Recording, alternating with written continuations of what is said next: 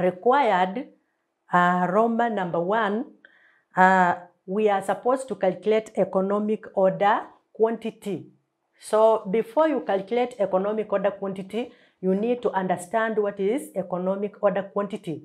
Economic order quantity is that quantity that seeks to minimize the total costs. And the relevant costs are the ordering cost and uh, the, the holding cost. Where discounts are given, purchase cost also becomes relevant. So once you know the relevant cost, then you can be able to apply the formula which we use in computation of economic order quantity. So we will begin with the Roman number one, economic order quantity.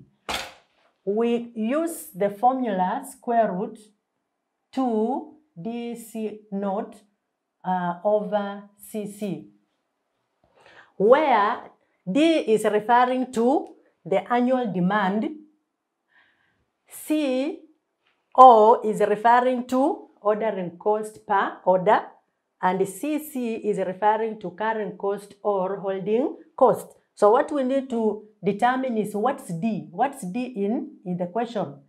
So we were told that the annual purchases were 150. So we have 150,000 components.